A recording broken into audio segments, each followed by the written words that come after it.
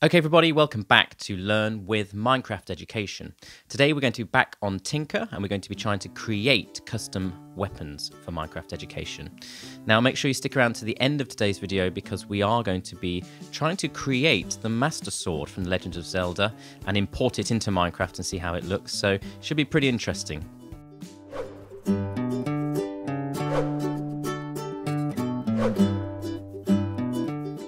Okay, everybody, let's dive straight in. We are in the Tynker homepage now. We're going to create Minecraft resources. You can sign in with your Microsoft account, and then we're going to create items. Make sure you've got Minecraft Windows 10 forward slash Pocket Edition selected. And we're going to scroll down through the templates here and select the diamond sword. So we're going to be putting a new texture onto this item so that it looks very different, but it's the same item when we go into our inventory later on. Make sure you select freehand because that lets us draw um, outside of the, the pre-existing uh, template. I'll just speed this up a bit. You can see what I'm trying to do is just to create like a totally over-the-top, uh, crazy-looking sword. Uh, just have a bit of fun. It's kind of fun putting different colors in and getting something looking a bit crazy. Do a wooden handle there and some kind of sparks flying off around the edge. It's a bit full on, but uh, that's fine. So in the top left here, just move my head out of the way. Um, in the top left here, I've renamed this to Mega Sword, so I'm just giving it a name that uh, I'll be able to find easily later on. And I am going to click the little download cloud icon and then click download now. And that downloads a Muck add-on file that I can open with uh, Minecraft Education Edition. Now, I'm going to do a couple more weapons here. I'm just going to speed this up really quickly. So I'm going to do a bow and I'm going to do an arrow as well. And after that, we'll have a look at um, importing those in. So here's the bow.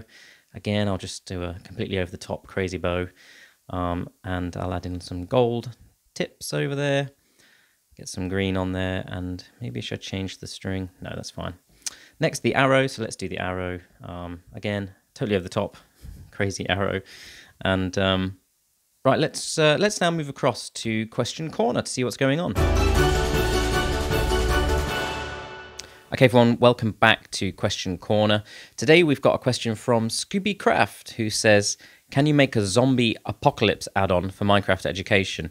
Um, I'd be interested in doing that. I haven't seen one of those while I've been looking around.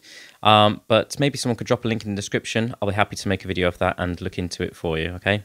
Thanks.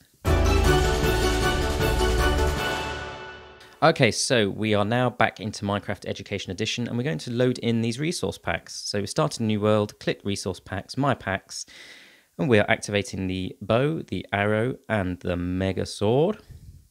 And we're just going to click play. It's as simple as that. Uh, then once we are in our world, we just fly up a little bit here to uh, so we can see clearly. I'm going to go to my, press E to go into my inventory, make sure I'm in creative mode. I don't want to have to craft these. And if I type in arrow, and bow and sword, uh, they will come up where my other ones were. So you can see the texture pack has changed also in the inventory as well, which is cool. Uh, so they're selected now. Let's close this and have a little go. There's my bow, looking cool. And my awesome diamond sword.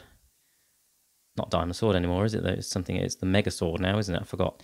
And um, my arrow there, if I hold it, looks like that. Now, something you might find with these is when you use the arrow, notice there it switches back to the old texture, which is a bit of a shame. I'm not really sure how to get it to stop doing that. I guess maybe there's a separate texture pack for when it's being used and for when it's just being held. Um, but still, it looks pretty cool. And there's the arrow there. Right, so as I said, I will finish up today by doing our Master Sword. So on one side of the screen here, I've got some Google, a Google image of the Master Sword. And uh, I'm just copying that across using the Diamond Sword as a template. And just drawing freehand, making that handle a little bit bigger and the gold little emblem there and I'll save that up. Um, I'm not going to rename it to Master Sword, I'll just keep it saved as Diamond Sword and uh, download that and pop it into uh, Minecraft Education Edition and uh, we'll see what it looks like. There it is. Um, looks pretty cool. Master Sword. Nothing looks too bad. Right, guys, if you enjoyed today's video, please do make sure you like and subscribe. Uh, we're going to be doing some more kind of Tynker stuff later on and a few more lessons as well. I do want to do um, our say and tell commands as well. So a few more command lessons coming up, I think. Uh, but for now, that's it. Um, have a wonderful week, and I'll see you next time.